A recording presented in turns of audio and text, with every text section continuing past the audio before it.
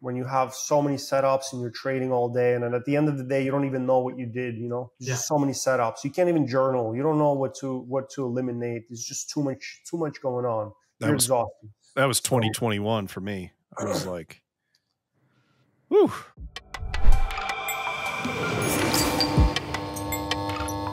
One of the benefits of working at a firm is having a risk manager. So, my question is how do you determine what type of risk to give someone and how do you determine when to cut them off? Yeah, that's uh man, that's that you know, it's a very hard question because as much as like I try to standardize it for everybody, it's kind of like a case by case basis. Um, like somebody joins brand new, like they're they're trading pretty small.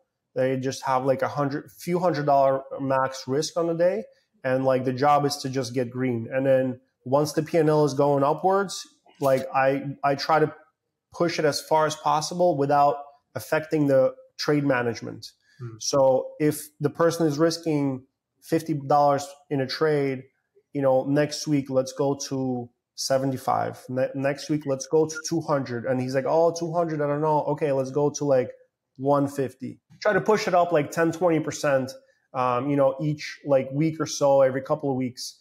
Um, if I'm pushing for him from like 2K per trade to 4K per trade, he's going to get lost. You know, he's going to be like Mhm. scared, stopping out too soon. So it's like, okay, you don't want to do 4K, let's go to like 3K, let's go to maybe 2,500, you know, something like that. So I try to like push as far as possible without, you know, kind of scaring the guy without like affecting the trade management. One thing uh, I'd like to talk about is kind of like setups. So, uh, what are your setups mostly like now? If you can kind of like share anything on that. I just focus on like two things. One is like um, a fade, you know, reversion to the mean. So uh, in the last few months, it's just been a lot of like sub dollar names, Yeah. uh, just running from 30 cents to 90 cents and then failing.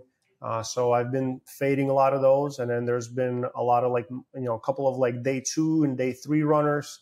So I like that like day two gap up, push and fail, or day three gap up, push and fail. I don't like like day fours, day fives. Now you're just like maybe it's gonna be like on day nine or something. Um, but I, I like that like reversion to the mean type of trade, and also uh, I like the multi-day breakouts where uh, the stock will consolidate for like a month, build a base, and then get a catalyst, and then get some volume and just break out. Uh, so I try to trade those uh, as a as a swing trade. Um, but that's like the main two things. And I I, ha- I used to have a lot more setups that I would trade.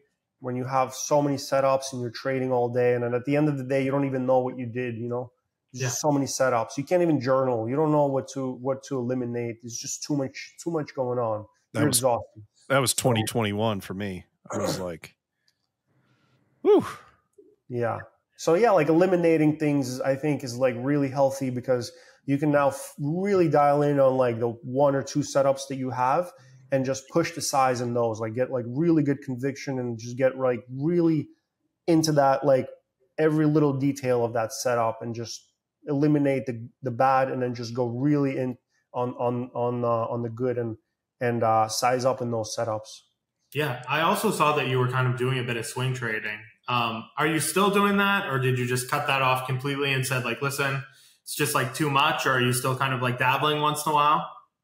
I'm dabbling once in a while, but uh, it hasn't been that that setup hasn't been profitable. Like there has been like a few setups here and there, but it's not not a setup that I take on a daily basis or even on a weekly basis.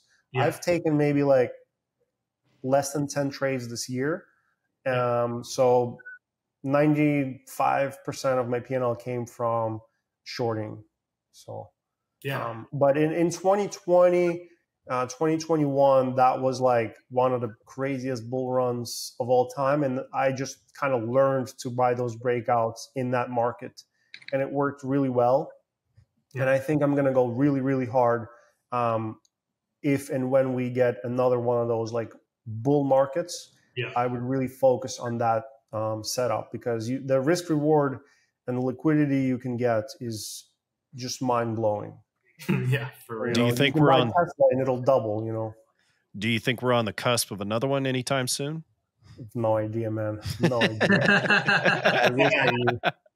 yeah, for real. Um, one thing that I saw too that you kind of posted about on Twitter was that you scratched out the liquidation setup, and I know that is some traders like bread and butter, you know. Um, but also maybe for some traders it was the worst setup of their life after ILAG and stuff like that happened. So could you kind of talk about your process of saying like, listen, I'm scratching out a setup. I'm done with it. I'm not going to touch them anymore. Um, I think I know the answer, but just maybe for some viewers, because that's a topic that has come up a lot on the podcast, those liquidation setups. Everyone seems to be after them. So I'm just kind of wondering your, your approach. Yeah, so my my process basically I tag my setups in TraderVue and uh, and then I, I click on that tag and I look at the stats and I see the performance of that particular tag. Um, and I think this year um, I, ta- I took five of those trades and only one of them was green. And um, my losses were greater than that. You know, each individual loss was greater than that one little win. So yeah. it's just like the win rate is like tiny and the risk reward doesn't make sense. Yeah. And it's just like I just don't feel any like I don't feel I have any confidence going into the next one. Is that like kind of like uh would you say that's like common like as far as like setups go like if a lot of people kind of start doing the same thing over and over and over you have to kind of look at it different and say okay this is getting a little bit too overcrowded because like I feel like that liquidation setup like everyone was short looking for that big liquidation move, you know? So then you get these big wicks trying to stop people out and you just get this kind of like wacky price action. So like do you kind of take it into account saying, okay, maybe this setup is just too crowded. I'm I'm scratching it out. I don't think about it like that. I don't think so because like for example, we've been shorting day one stocks for years and years now and it's it's really crowded now, but they still fade, you know. Yeah. But this one, there's there's obviously some manipulation going on. There's something, some you know Chinese, you know traders behind it that are just pushing it up, and they know they're going to get some liquidity if they like wipe the offers. Yeah. So I think it has some. That one is definitely crowded, um, yeah. but I, I know it's not because people are stopping in themselves out. It's just like somebody's wiping and manipulating um, the offers there. I think that's what's going on in that one. But I think like the more people that are trading it, I don't think it really affects the setup like all that much in, in, the short run. Maybe in ten years it'll be you know completely different, but right now, I don't I don't think so. I, in the short run, I don't think so.